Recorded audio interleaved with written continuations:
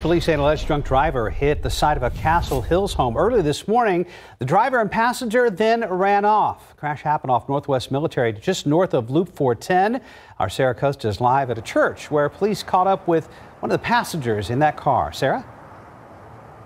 Good morning, Mark and Stephanie. Yeah, we are at the parking lot of Wayside Chapel. This is where Castle Hills police said they found the passenger, a man who was in that car who, who tried to run off of them. They eventually caught up with him and they, de they detained him here. But Castle Hills police say it was a woman driving that car with a male passenger when she crashed into the side of the home just after midnight. The home is on the corner of South Garden View Drive and Northwest Military Highway.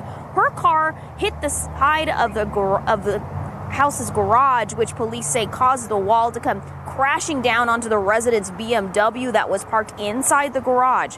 Police say the driver and passenger they didn't stick around. They ran off and left the car behind. The woman was found at Ivywood, which is two streets over, and the man at the parking lot of Wayside Chapel. Castle Hills police say both the man and the woman were intoxicated. The woman told police that the man had been hitting her while she was driving that caused her to crash.